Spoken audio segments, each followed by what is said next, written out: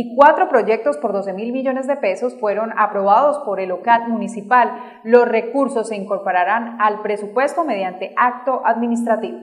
Cuatro proyectos fueron aprobados por el organismo colegiado municipal OCAP para la capital araucana. Más de 12 mil millones de pesos se ejecutarán en cuatro proyectos para este municipio. La administración municipal en cabeza de nuestro alcalde Benjamín Socaraví Cermeño viene surtiendo unos procesos por la fuente de CGR, OCAP municipal, el cual hemos presentado una serie de proyectos y hemos ido avanzando poco a poco para poder llevar soluciones inmediatas a la comunidad del municipio de Arauca y que los mismos sean aprobados lo antes posible para eh, empezar su ejecución. El día 3 de julio tuvimos un local municipal de unos proyectos que venimos presentando ya a las mesas técnicas.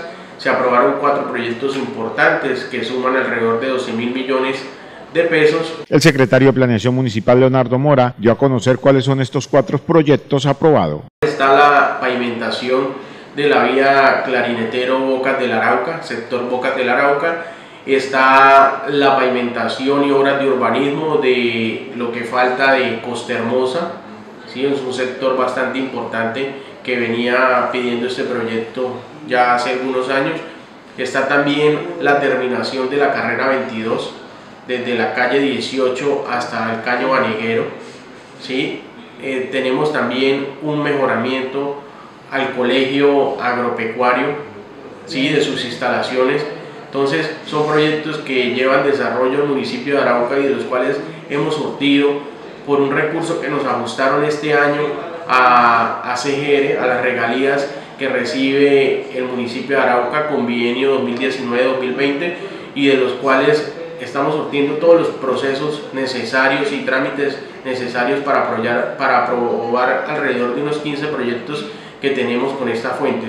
Ya nos aprobaron estos primeros cuatro, esto si Dios quiere al término unos 15 a 20 días ya surtimos otro proceso de OCAD para ir aprobando los otros proyectos que tenemos referenciados con esta fuente. Según el secretario de Planeación Municipal, estos proyectos son recursos netamente de regalías. Sí, estos recursos son regalías, son el porcentaje que recibe el municipio de Arauca por ser municipio productor de petróleo. Entonces son regalías, un ajuste que nos hicieron eh, en marzo, en abril, por alrededor de casi 29 mil millones de pesos.